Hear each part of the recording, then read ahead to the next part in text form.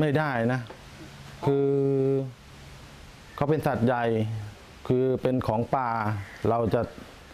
ไปบอกเข้าซ้ายฝาอะไรเนี่ยบอกไม่ได้ คือมีอย่างเดียวคือเขาแจ้งมาปุ๊บเออเขาของก็เสียหาย เราก็ไปผลักดันออก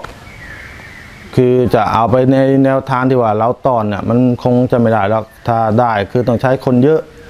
เพราะเขาใหญ่ฟ้าตัวเขาใหญ่ฟ้า แปลกช้างโดนไฟดูดตายนะที่มีแผนมาก่อนเพราะว่าไอ้บอกว่าพอมีช้างเลยมาความเสียหายมันก็มีมันเกิดแน่นอนเพราะช้างเกี่ยวกินตามสัญชาตญาณของสัตว์ป่าอยู่แล้วนะถ้าเกิดว่าช้างมันเครียดเครียดมาจากคนที่เขาไม่เข้าใจเอ้ยเข้ามาแล้ว เข้ามาบ้านกูแล้วเข้ามากิน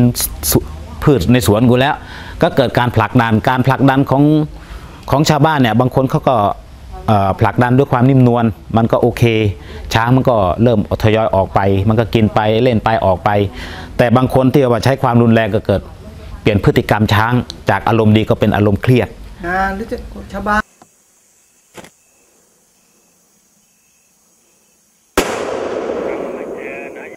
อะไรในพื้นที่ต่างๆ เข้าใจในชุดติดตามช้าง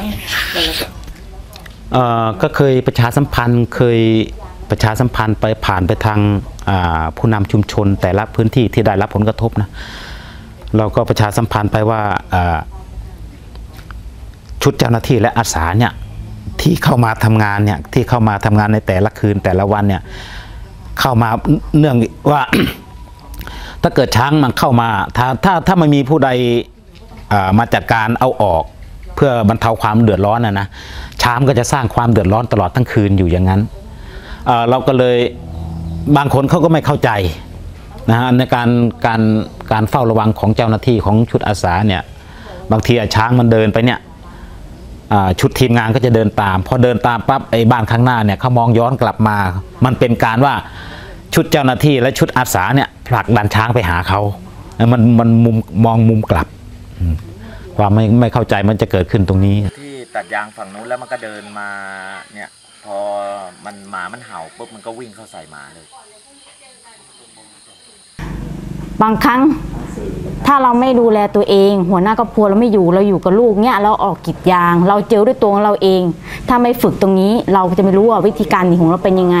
ถ้าช้างเขาจะสอนว่าวิธีช้างมาหาเราโดยตรง เราจะวิ่งซิกแซกหาที่กำบังเขาไว้ เขาจะมีวิธีการสอนระหว่างช้างวิ่งตรงหาเราเราจะวิ่งทางซ้าย คือวิ่งซิกแซกเมื่อแม่ช้างจะมองเพราะช้างจะมองโดยตรง แต่สำหรับเราเราต้องวิ่งซิกแซกคือแม่ให้ช้างจับมุมคล้ายๆ เห็นเหยื่อจ้องมองเราได้ พอนั้นปุ๊บเราก็หลีกตัวหนีทันที มีมันยังไงความรู้สึกมันโอ้เข้ามาเราก็วิ่งลงร้อยเหยี่ยหันวิ่งไปหันมองหลังไปวิ่งไปของเราถ้าเกิดเราวิ่งไปตรงๆเราไม่รู้ว่าช้างเข้ามาช่องไหน หรือเขาวิ่งตรงหรือเขาไปซุกเราตรงไหน เราต้องวิ่งไปมองไปวิ่งไปมองไปไม่ใช่แต่เราก็มองตัวเองเลยนะไปสะดุดตอแล้วก็โดนเขาเหยียบตรงนั้นเนี่ย เออเห็นครูเราก็ต้องวิ่งข้ามครูให้ได้ เพราะช่วงเวลาตกใจอะคนไม่เคยได้ข้ามไกลเราก็ต้องข้ามไม่ไกลอะเหมือนคนวิ่งหนีเล่นไพ่อะเนาะวิ่งหนีตำรวจอะพอๆกันพุ่งหนามกูก็ต้องพุ่งหนามมาเอาตัวเองให้รอดอะชั่วโมงนั้นอะไม่ห่วงอะไรแล้วเพราะทุกคนช่วงนั้น ความกลัวมันก็ต้องต่างคนเอาตัวรอดไงถ้าเราจะไปห่วงเพื่อนอีกคนนึงเนี่ย ก็เท่าว่าวางมือวางกูช้างมาถึงมันก็จบไหมแล้วบางทีเราไปตามหมู่บ้านหรือช้างมาเป็นฝูงสิบตัวเนี่ย เราพยายามจะดันเขาเพื่อที่ว่าหลบหลีกสวนที่เขาทำกิน แต่ทีนี้ว่า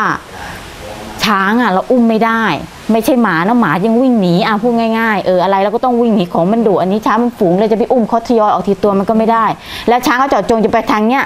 เรามีหลายคนก็จริง แต่ถ้าเขาจ้องจะไปสวนอะเราก็พูดลำบากแล้วชาวบ้านอะเขาตื่นมาก็เห็นสภาพนั้นเขาต้องโทษจิตอาสาว่าทำไมตอนเช้าไม่หาเขา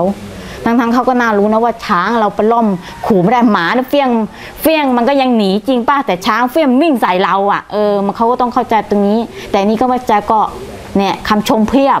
อืมบางทีโดนชมทั้งคืนอะ จนว่าความรู้สึกเนาะจิตสาเราไม่มีอะไรเลยไม่มีไม่มีเงินเดือนประกันก็ไม่มีอะไรไม่มีคล้ายๆ เราชีวิตไปเสี่ยงช่วยเขาแต่เรากลับคำชมแบบนี้กลับมา ความรู้สึกมันก็ท้อคืนนั้นก็คือว่าเออ ไหนๆเราก็เที่ยงคืนตีหนึ่งแล้วกลับก่อนเนาะกลับไปตั้งสติก่อนอะไรก่อนแล้วค่อยว่าอีกทีปรึกษากันใหม่ว่าจะทำยังไงเออถ้าเราไม่ไหวเราก็ถอยจุดหมู่บ้านเนี้ยให้ผู้ใหญ่ผู้นำเขาติดต่อเคลียร์กันเอง เพราะถึงเราไปอะ เราไปช่วยจริง แต่เขาไม่เข้าใจเรา ก็ยังไงให้ผู้ใหญ่ผู้ช่วยเนี่ยแนะนำชาวบ้านเขาไปก่อนว่ามันมีปัญหาแบบนี้ แต่ถ้าบางคนเข้าใจก็โอเค ถ้าไม่เข้าใจเราก็พักก่อน เพราะทุกคนเขาทำงานเหมือนกันทำกินหาเช้ากินข้าวเหมือนกัน